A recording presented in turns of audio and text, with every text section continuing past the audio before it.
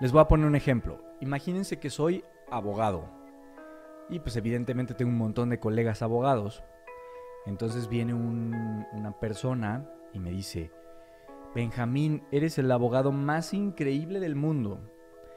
Me inspiraste un montón, estuve leyendo tu trayectoria y eh, estuvo padrísimo, me encanta eh, pues cómo defiendes a tus clientes. Y esto me inspiró a contratar a este otro abogado. Y entonces contraté ese abogado y pues ya estuve en un par de casos y el año pasado también lo volví a contratar a él, nomás que tú me inspiras un montón. Y entonces eh, lo, que, lo que pasa ahora es que pues dame unas asesorías, ¿no? Porque no estoy teniendo tan buenos resultados con mi abogado. Entonces, eh, ahí me ponen en un entredicho a veces, porque yo digo, bueno, está padrísimo, qué bueno que tengas un abogado, porque lo necesitas, a lo mejor, porque tú quieres tener abogado, ¿no? Pero, eh, y, pues muchas gracias, qué bueno que, yo te inspiré, ¿no? A, contratar un abogado con, todo lo que hago. y luego, eh, creo que lo más ético sería que le preguntes a tu abogado, porque él conoce tu caso, o sea, conoce tus datos, eh, qué es lo que necesitas, etcétera, etcétera, y, incluso conoce lo que tú sabes, cómo te ha asesorado, eh, conoce lo que hay que hacer sobre tu procedimiento. Lo mismo me pasa como instructor de Chinen Chikung. Lamento desde aquí si alguna vez eh, pareció grosero eso, como oye, lo más ético entonces es que le preguntes a tu instructor de Chinen Chikung.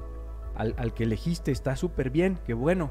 Nada más que eh, él sabe lo que sabes, eh, sabe cómo practicas, sabe, etcétera, sabe muchas cosas que yo no sé, porque muchas veces también, pues las quejas vienen como, es que eh, mi instructor me dijo que esto, así como me dijo que esto, Benjamín, y yo, híjole, pues que yo no dije eso, yo no lo expliqué así, ¿no? Entonces, a mí sí me parece ético pues mandarlos con sus instructores, porque los instructores saben qué les enseñaron y saben cómo practican. Que por cierto, aquí no es, no es una cosa como para correrlos a todos al demonio, sino más bien decirles, no hombre, no tienen problemas, ¿quieren que los adopte? Yo los adopto. O sea, adoptados, no más que adoptados, pero entonces, y no es con el afán de venderles mi curso, no más que a veces como los planes de estudio, porque hay libertad de cátedra, bendita libertad de cátedra, eh, son distintos, pues luego no saben lo que yo doy por sentado que sí saben. O sea, que sí saben los que aprendieron conmigo de entrada. Entonces luego digo y dicen, ah, que este sí, pero, pero pues, ¿qué es eso, no? Creo que eso me parece como muchachos, yo los adopto, los adopto a todos. Es más, hasta es un buen negocio para mí, porque o sea, de alguna manera vivimos de tener alumnos. Y, claro que los puedo adoptar y claro que eh, he tenido llamadas de tres horas con personas, de dos horas con personas que no son mis alumnos, que algo les podría aportar. Nada más que no me dedico a eso, me dedico a dar cursos y yo los quiero adoptar. O sea, vengan, necesitan un instructor eh, adoptador, yo los adopto, no más que déjense adoptar.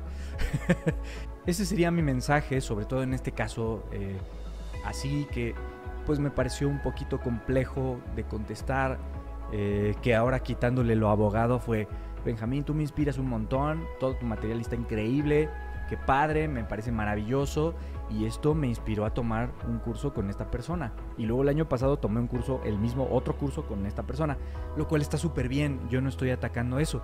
La cosa es que cuando tienen problemas en su práctica, deberían preguntarle a su instructor adoptivo. Entonces, pues eh, si, si quieren, pues déjense adoptar, así como entrégate, déjate adoptar. Bueno, muy bien. ¿Qué les pareció? Ahí coméntenme, compartan y nos vemos en el siguiente.